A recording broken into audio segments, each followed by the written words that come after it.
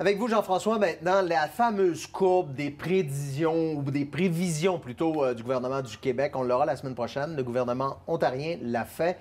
Ouf, c'est sombre, hein? Oui, si on n'avait pris aucune mesure sanitaire, on ferait face à un scénario dans lequel il y aurait 100 000 morts en Ontario. C'est un, Ontarien, un, un Ontarien pardon, sur 145. On n'est pas dans ce scénario-là, on est plutôt dans une fourchette de 3 000 à 15 000.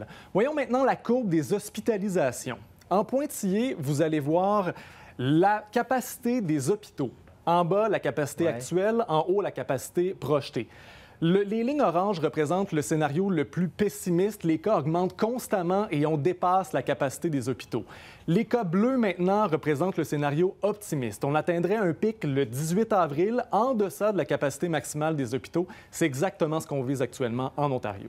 Euh, il y a Google qui a réussi à mesurer euh, comment on était bon au Québec dans la distanciation physique. Oui, ils ont pris nos données de téléphone cellulaire de façon anonyme pour voir où est-ce qu'on se promenait. Et voyez, les boutiques, la fréquentation a baissé de 70% Les supermarchés de 44% les parcs également de 68% On fait du télétravail. Notre milieu de travail est en baisse de fréquentation de 45% Il y a un seul endroit où la fréquentation augmente. Vous l'aurez deviné, notre domicile en hausse de 15 au Québec depuis le 16 février. Et juste un petit mot pour les casse-croûtes qui vont ouvrir? Oui, cantine, casse-croûte, bar laitier, ils vont pouvoir ouvrir. Pas de terrasse, mais pour emporter et deux mètres de distance entre les clients. Mais ça va faire du bien de bonne poutine en fin de semaine.